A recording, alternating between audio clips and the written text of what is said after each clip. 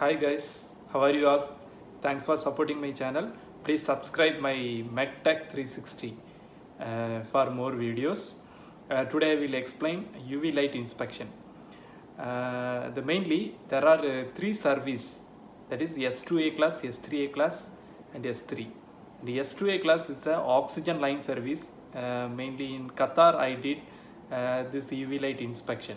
In this inspection uh, we have to inspect the flanges, blind flanges, bolt, nuts, everything. During the shutdown time they will inspect like that.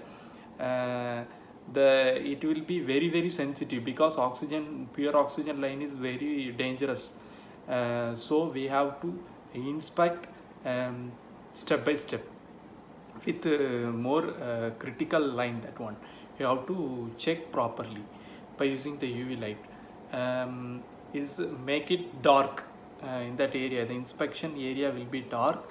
Then you have to easily visible uh, by using this uv light. Then uh, the cleaning. Cleaning process will be taken place by any uh, technicians um, that will be they he will be qualified in uh, oxygen service safety uh, class they will conducted and he will be qualified for that one. Acetone chemical will be used by using surgical um, gloves we have to put. Um, and also lint free cloth they will use to clean this flanges and all.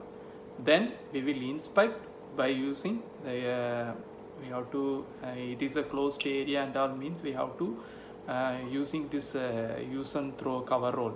And also we have to put surgical gloves and also we have to inspect uh, with uh, sensitive. Okay i will attach some photos. Uh, you see that one. Please subscribe. Thank you. This one i did the inspection by using the uv light for the blind flanges and all. Even um small uh, fingerprint also not allowed uh, even hair and all not allowed during this uh, inspection. So i already tell about s2a class s3a class s3 class and all. I will explain in detail in other videos. Okay guys thank you. Please support me for uh,